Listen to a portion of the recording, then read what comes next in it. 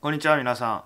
え今日期末試験が終わりました。え我期末考结束了。然后我明天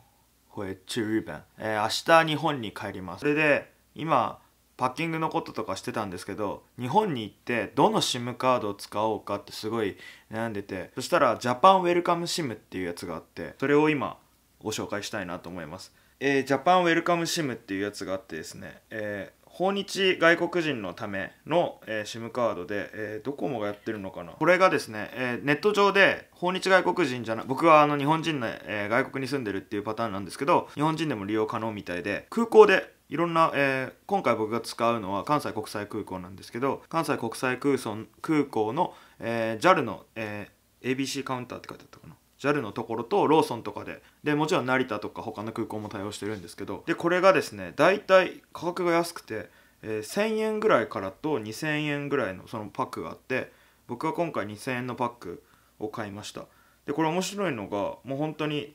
ついたら APN 設定不要でそのまんま SIM フリーの端末に挿して使えるのとあと広告閲覧アンケートで高速データ通信量がもらえるっていうなんか面白いプランで元々のプランに、えーその広告とかを見るとまたプラスされるということでまあ15日ぐらい買えるのでちょうど、えー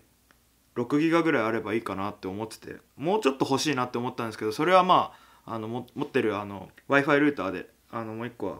解決しようとは思うんですけど、まあ、とりあえず1.6ギガぐらいあればいいかなっていうので、まあ、あの YouTube とかを見るのは大体家に帰って家の w i f i の回線で見るので、まあいいかなっていう方で、まあ、 Japan Welcome SIM あのすごいおすすめなので、まあ、まだ使ってないんですけど、まあ、空港でまずこの予約して取りに行けるっていうのがすごい便利で今までは僕台湾の空港で買うかこっちのアップルストアみたいなところがあってそこであのフリーテルの、えー、SIM, フリ SIM カードを買ってたんですけど2ギガ使えて30日のプランで3000円ぐらいなのかな確か。でそれをまあ 3, か3ヶ月帰る時は3枚買ったり4枚買ったりして結構あの面倒くさかったので、まあ、今回2週間だけの帰国なので、まあ、ジャパンウェルカムシムでいいかなっていう感じで。あの詳細は下の方に貼っとくのでもし一時帰国で日本に帰るっていう人で、まあ、これ別に日本人でも使えるカードみたいなのでもし訪日外国人用のカードで OK っていう人がいればそれで使ってみてはいかがでしょうか。まあ着いた時にもうそのまんま SIM カード取りに行けるっていうのはすごい便利でいいかなと思います。それでは